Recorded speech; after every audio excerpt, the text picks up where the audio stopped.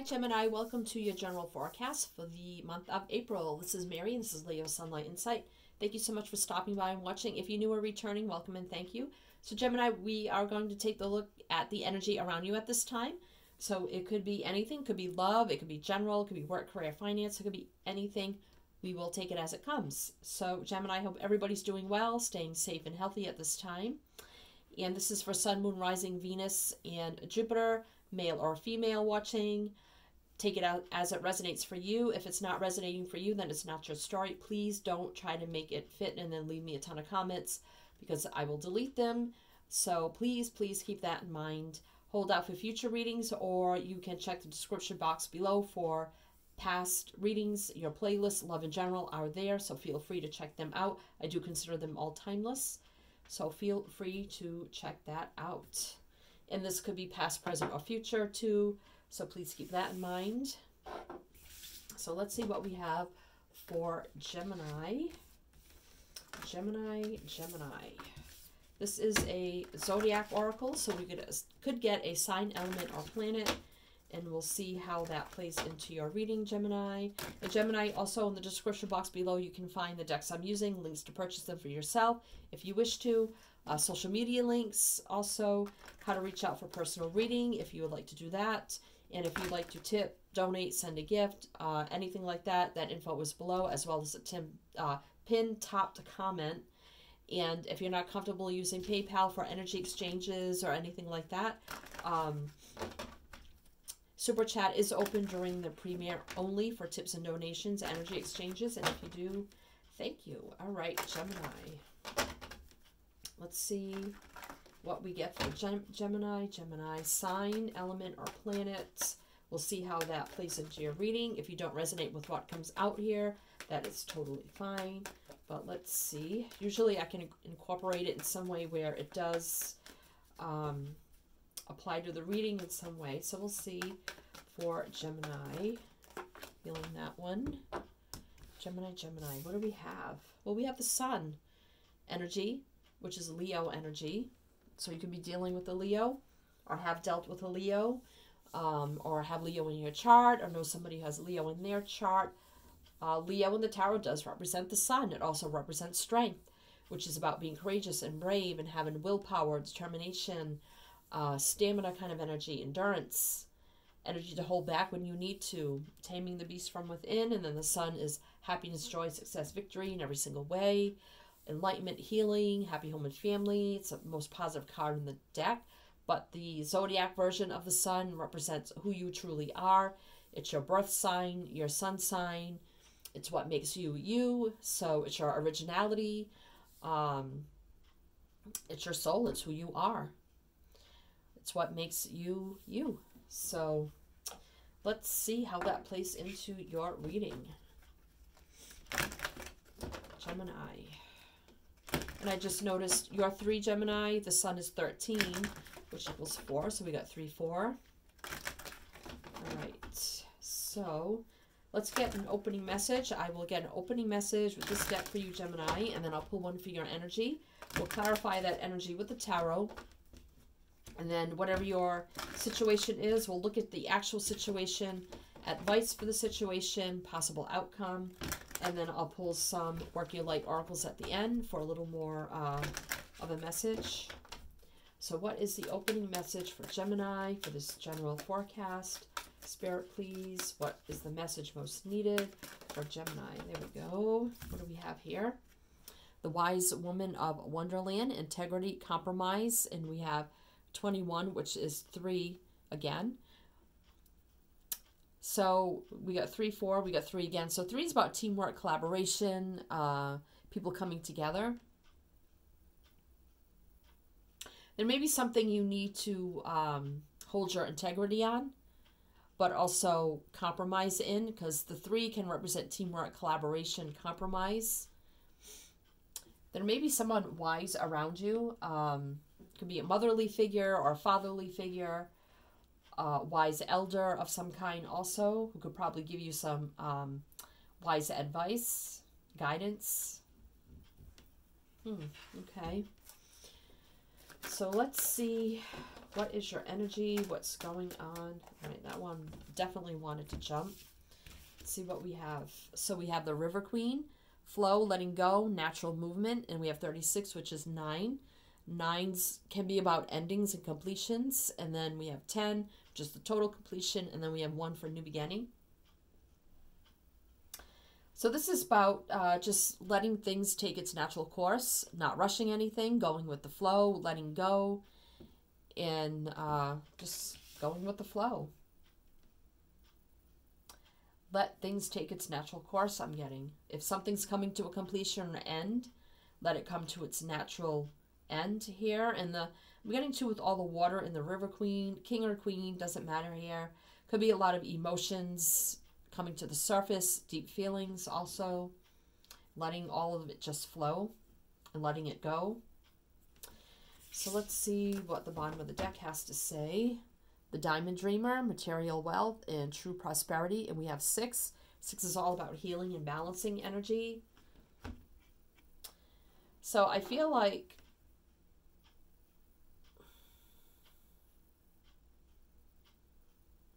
So I feel like some sort of material wealth or true prosperity will be coming in for you. But it's after a period of letting go of something and letting things flow naturally and not rushing anything and dealing with feelings and emotions.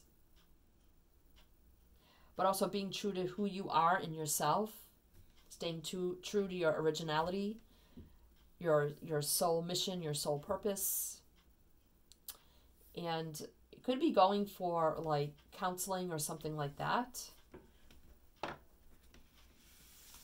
And getting wise advice and counseling of some kind through this uh, phase, whatever it is for you. All right, so let's see what's going on for you, Gemini. Gemini. Gemini. What's going on for Gemini? More shuffle for Gemini. Let's clarify this energy for Gemini. What's going on for Gemini? This time, Spirit, please. Whoa. So, yeah, I feel like you're resetting and re rebalancing yourself and resetting yourself to zero. This is about taking a leap of faith, jumping right in. But I feel like you're, you're just reading, resetting yourself like back to zero, like to have a new restart like in life. So if that means letting go of things, letting things flow naturally, taking its natural course, knowing, you know, with the diamond dreamer, material wealth and true prosperity, that what is coming in for you will be coming in for you. And then we have the page of swords. So you could be learning something online, um, honest, truthful communication between you and another you could be spying on somebody, but if you're trying to like reset yourself, I don't necessarily think you'd be spying, but you could be learning something new online or just having very open, honest, truthful communication with somebody here. So let's see what else here for you, Gemini. What is this energy? Eight of Swords. So it's stuck in your head about something here. But I feel like you're re rebalancing yourself and resetting yourself back to zero. So, Seven of Swords. A lot of sword energy here. It's that air energy. That's your energy. Queen of Cups. So the Seven of Swords can be about sneaking away from something, lies, deceit kind of energy. It's like you're going backwards because we got the eight and then the seven. It's like going backwards, but like removing yourself out of like this bubble, kind of, because you see this man look like looks like he is either climbing in or climbing out of something.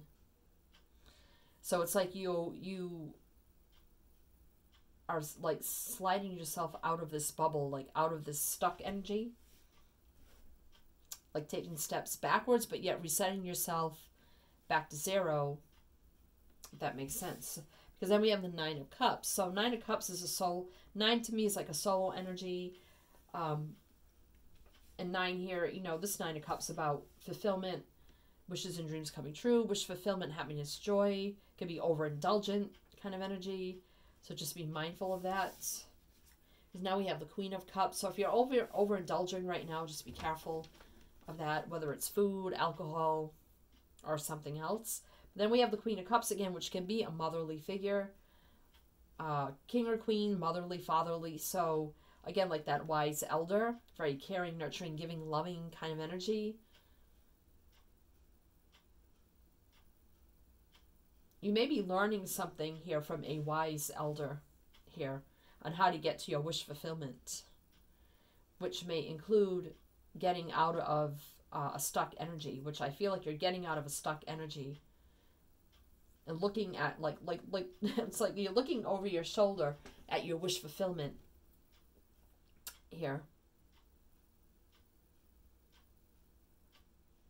So you could be learning, you could be learning uh, how to reset yourself here, getting out of a stuck energy or mindset or something like that. All right, what, it's too many.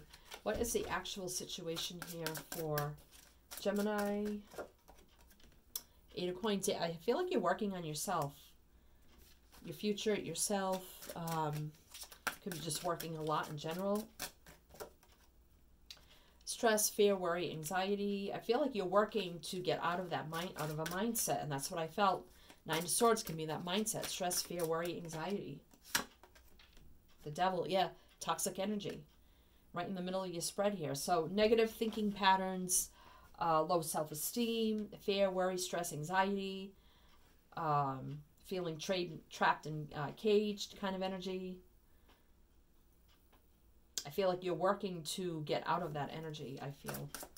So you could be going for counseling or something like that. Guidance. Learning how to reset yourself, I feel. Yeah, you're ending the old patterns here. Death energy. You're ending the old mindsets, the blockages, the toxic energy of the stress, fear, worry, anxiety, all that energy.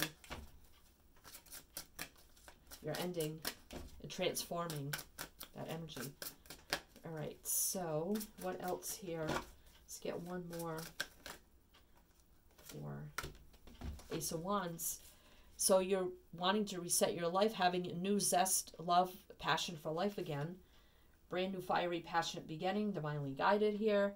So seeing life in a whole new way, a whole new set of eyes with fire, zest, passion, excitement, new endeavors, projects, hobbies, ideas.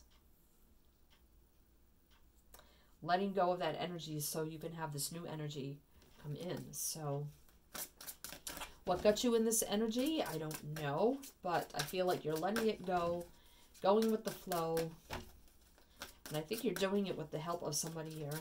In some way, shape, or form. Dreaming of your future.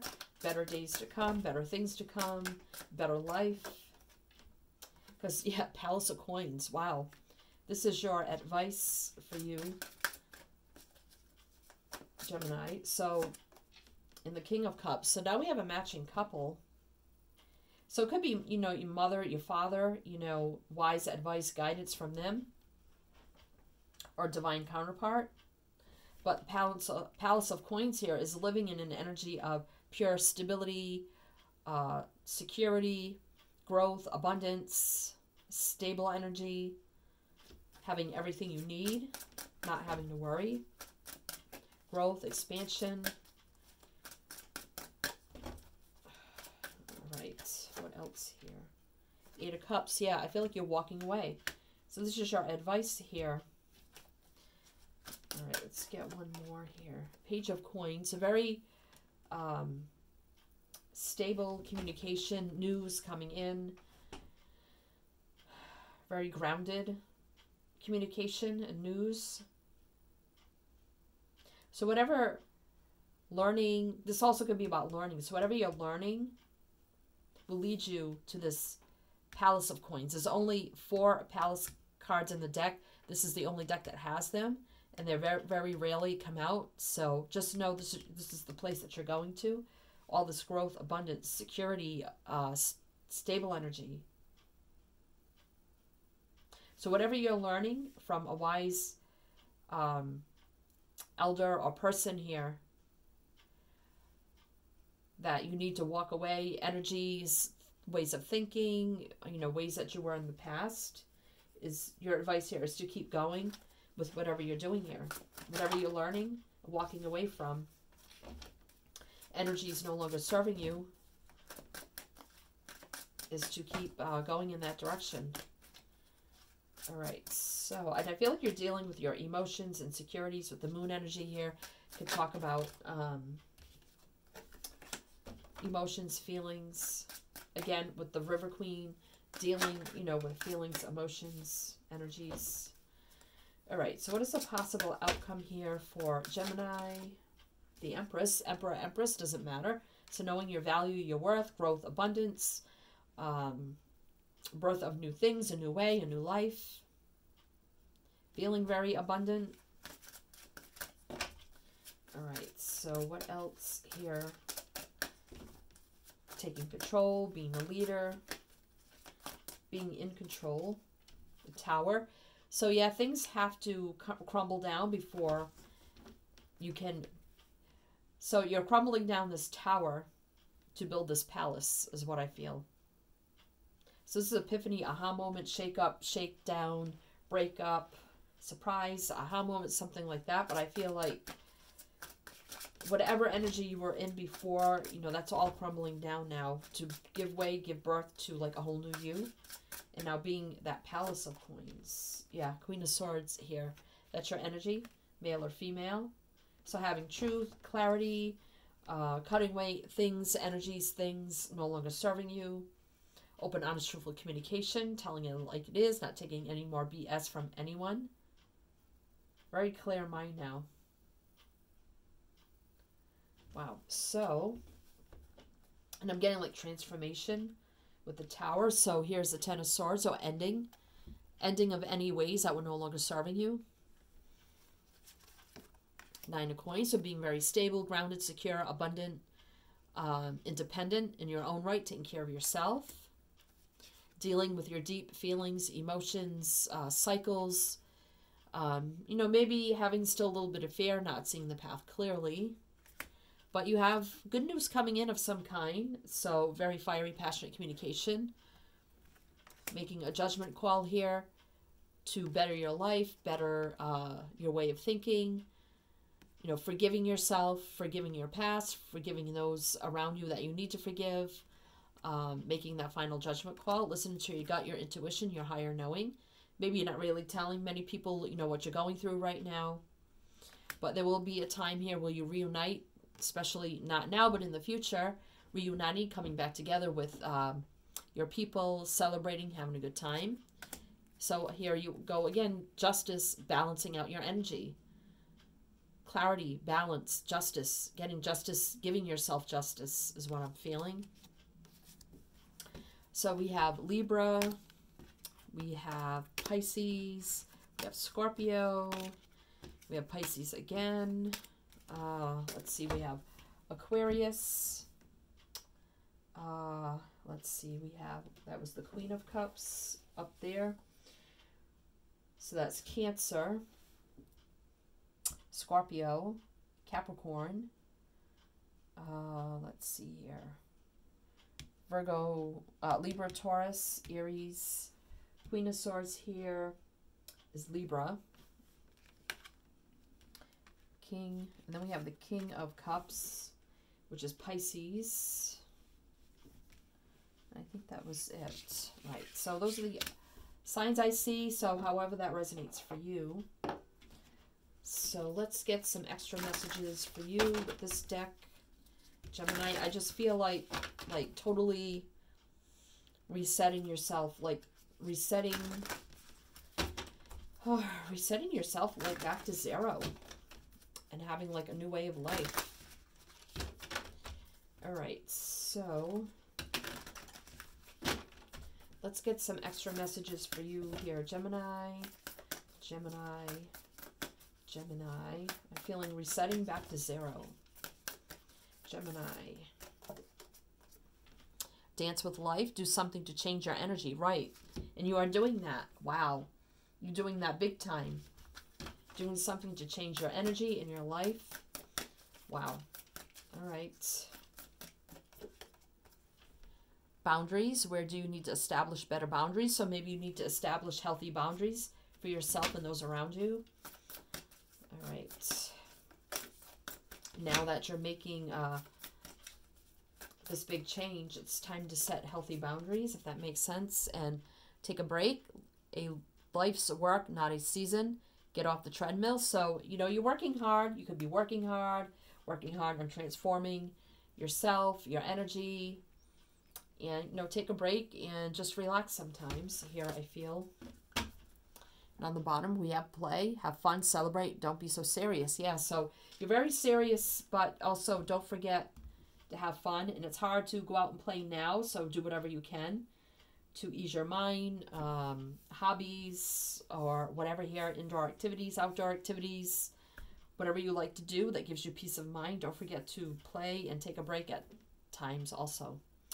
Okay, Gemini, uh, best of luck to you. Sending you many light, love, and blessings. And as I always say with my channel is to always, always shine your light.